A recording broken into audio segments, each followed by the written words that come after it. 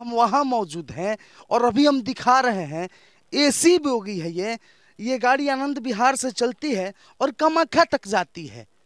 इस गाड़ी का इतना बड़ा एक्सीडेंट हुआ, ट्रैक से नीचे उतर गई, सिर्फ़ ट्रैक से नहीं नीचे उतरी।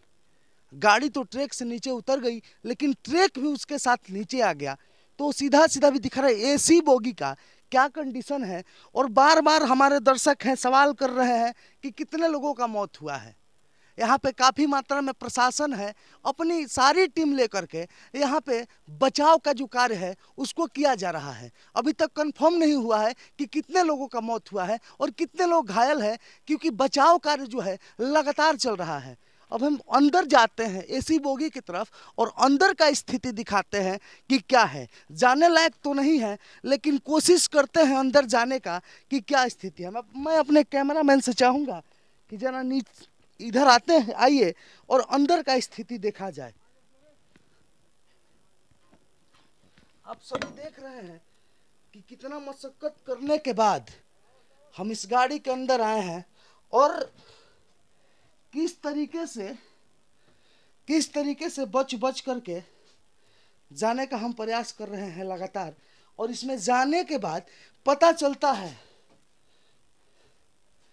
कि हम ही इस गाड़ी से नीचे चले जाएँगे। मैं कैमरामैन से दिखाऊँगा। स्थिति को दिखाते रहिए कि क्या स्थिति है।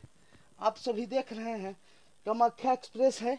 ये गाड़ी चल के आती है आनंद विहार से और कामाख्या तक जाती है। अभी अभी इस गाड़ी में चलने के बाद लग रहा है कि गाड़ी हिल रही है। अंदर चली जाएगी। और कितनी मशक्कत के बाद अभी हम आए हैं एसी बोगी में।